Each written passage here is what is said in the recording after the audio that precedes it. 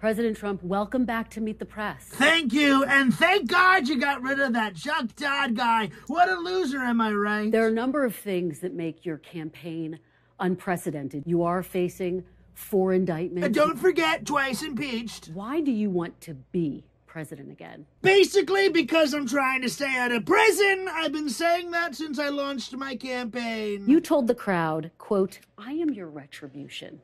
What does that mean? What does that look like? I'm a huge fan of retribution, and everyone that's crossed me is going straight to jail. Are you looking to appoint an attorney general who will prosecute and go after your political enemies? Yes, very much I am. McCarthy announced that he was launching an impeachment inquiry. Finally, it was my idea, you know. Do you see this as a part of the retribution that you see? Yes, most definitely. Did you talk to Speaker McCarthy? Yes, absolutely. I told him he should impeach Sleepy Joe right away. Talk to your Republican allies on Capitol Hill? Yes, of course, obviously. You know, this is one of the most easiest interviews I've done in a while. You know, you can definitely do better. I was impeached for a perfect phone call, and Sleepy Joe, Joe Biden, is guilty, stone cold guilty, and you too, Mrs. Spears. Death to all of them.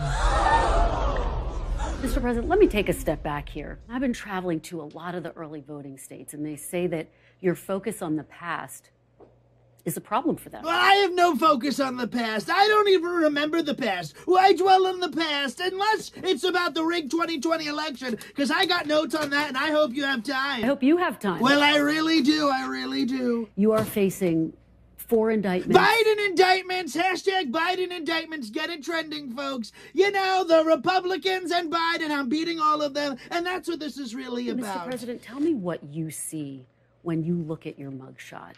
Well, I see a phenomenally handsome man, a 10 if you ask me. Let's move on to January 6th. The most senior lawyers in your own administration told you that after you'd lost more than 60 legal challenges that it was over. Allegedly. Why did you ignore them? Because I wanted them to tell me what I wanted to hear. You know, if you pay enough money, people will Were do you listening to them because they were telling you what you wanted to hear? Yes, I literally just said that. You know, and a lot of people are saying it. A lot of people are saying it was rigged. Even though, again, your lawyers told you you did not. No, no, no, you- blah, blah, blah. I can't hear you. All I needed was 22,000 votes and I would have won. Are you saying you needed those votes in order to win? Are you acknowledging you didn't win? Excuse me. I see what you're doing. You're trying to trick me. I'm the one who said it was rigged. And if I say anything else under oath at a later date, whatever I just said right now is null and void. You were listening to your instincts. Yes, I thought I won, so I said I did. And if you add it all up, it was rigged. I won. I wanted to go down to the Capitol that day, and they said I strangled a Secret Service officer. There's literally no proof of that. Take me to the Capitol now. Nope, this car's going back to the White House. No, no, I want to go to the Capitol. Donald, you know better. We talked about I this. I want to coo with everyone else. I said no coups today, young But- man.